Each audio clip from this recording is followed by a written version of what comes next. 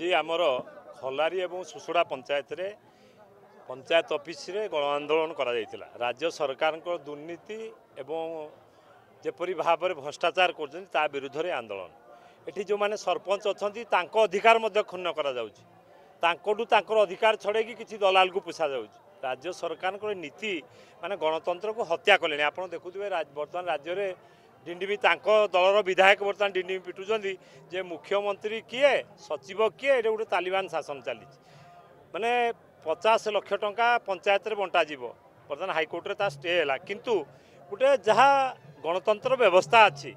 যে গাঁরে পল্লী সভা হওয়া কথা গ্রাম সভা হওয়া কথা তা অনুসারে যাই কার্যক্রম হওয়া কথা তাকু ତାକୁ ମଧ୍ୟ ବାଇପାସ୍ କରିକି ଜଣେ ତାଲିବାନ ସରକାର ସମସ୍ତଙ୍କୁ ଦଲାଲମାନଙ୍କୁ ଟଙ୍କା ବାଣ୍ଟି ଦେଇଦେଉଛନ୍ତି ତେଣୁ ଏଠି ପୁରା ଓଡ଼ିଶାରେ ଗଣତନ୍ତ୍ରକୁ ହତ୍ୟା କରାଯାଇଛି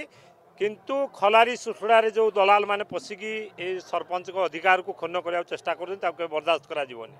ଆଜି ଏଇଟା ତେତେଇ ଗଲୁ ଯଦି ଆଗାମୀ ଦିନରେ ସରପଞ୍ଚ ସମିକ୍ଷକ ବା ଆମର ଆମର ଯେଉଁ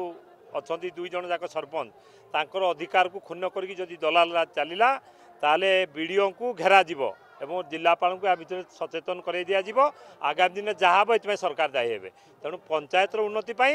ଆମେ ଭାରତୀୟ ଜନତା ପାର୍ଟି ଗରିବ ଜନସାଧାରଣଙ୍କର କେମିତି କାର୍ଯ୍ୟକ୍ରମ ହେବ ସବକା ସାଥ ସବକା ବିକାଶ ଏ କାର୍ଯ୍ୟକ୍ରମରେ ଆମେ ସମସ୍ତେ ଲାଗିଛୁ ଯଦି ତା ଭିତରେ କିଛି ବାଧା ଦିଆଯାଏ ତାହେଲେ ଆଗାମୀ ଦିନରେ ଜୋରଦାର ହେବ ଆନ୍ଦୋଳନ ପଞ୍ଚାୟତ ଘର ଏଥିପାଇଁ ହେଉଛି ଆମର କିଛି ଉନ୍ନତିମୂଳକ କାର୍ଯ୍ୟ ହୋଇପାରୁନି ଯାହାକି ଫଳରେ ଆମର ଇଏ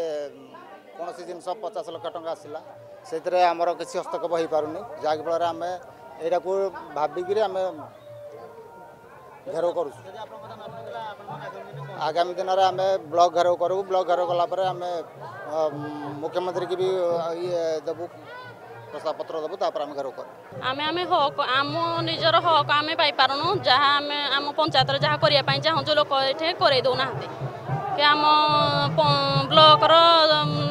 শাসক দল করে দেউ না